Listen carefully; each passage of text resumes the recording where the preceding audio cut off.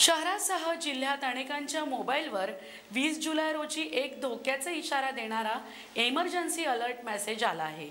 त्यानंतर काही वेळातच पुन्हा दुसरा मेसेज आला. त्यामुळे एकाच वेळी अनेकांच्या मोबाईलवर सारखा मेसेज आल्याने लोकांमध्ये संभ्रमाचे वातावरण निर्माण झाले आहे. हा कोणता स्कॅम तर नाही ना? आपला मोबाईल हॅक तर झाला नाही ना? मॅच मॅसेजवर क्लिक केलं तर मोबाईलचा स्फोट तर होणार नाही ना? असे अनेक प्रश्न अनेकांना पडले. मात्र जर तुमच्याही मोबाईलला असा मॅसेज आला असेल तर घाबरून जाऊ नका. देशभरातील अनेकांच्या स्मार्टफोनवर सकाळी दहा वाजून वीस मिनिटांच्या सुमारास एक एमर्जन्सी अलर्ट आला. हा मेसेज म्हणजे सध्या कोणताही धोका आलेला नसून ही केवळ एक चाचणी होती.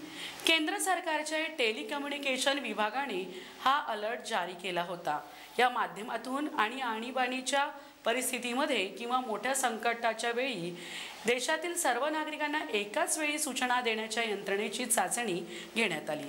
यामुळे भविष्यात अशी परिस्थिती निर्माण झाल्यास सर्व नागरिकांना वेळेत अलर्ट मिळणार आहे.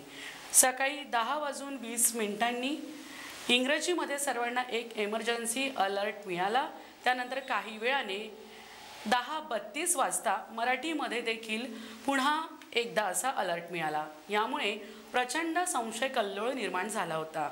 विशेषतः ग्रामीण भागात उलटसुलट चर्चा सुरू झाल्या होत्या. अजूनही नागरिकांमध्ये त्या मॅसेजबद्दल भीतीचे वातावरण आहे.